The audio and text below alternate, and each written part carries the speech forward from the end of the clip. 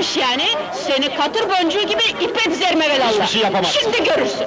Yılın en nefis komedisi Erkek Fatma filminde Fatma Girik futbolcu. Erkek Fatma filminde Fatma Girik şoför.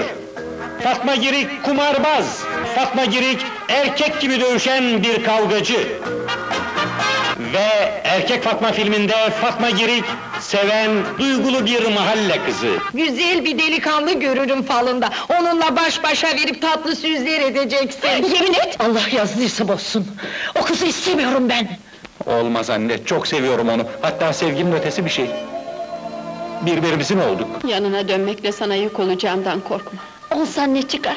Sen mutlu ol, sen yanımda ol. Ömrüm boyu hizmetçilik etmeye razıyım. Pesen Film, Erkek Fatma filminde Türk sinema ve tiyatrosunun en tanınmış isimlerini bir araya topladı.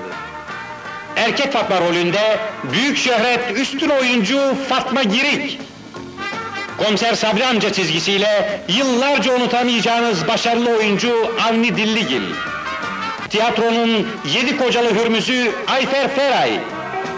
Tiyatronun beyaz perdeye hediye ettiği büyük bir isim Muazzez Kurdoğlu.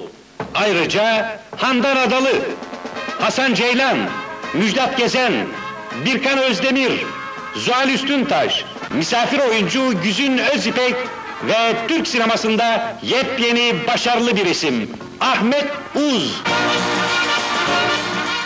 Pesen filmin tamamen renkli olarak büyük fedakarlıklarla hazırladığı Erkek Fatma filmini rejisör Ülkü Erakal'ın büyük bir titizlikle hazırladı.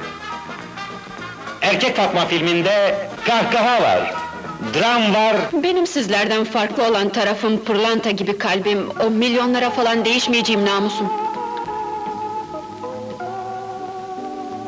Acı bir laf mı ettim farkında olmadan? Acı lafı...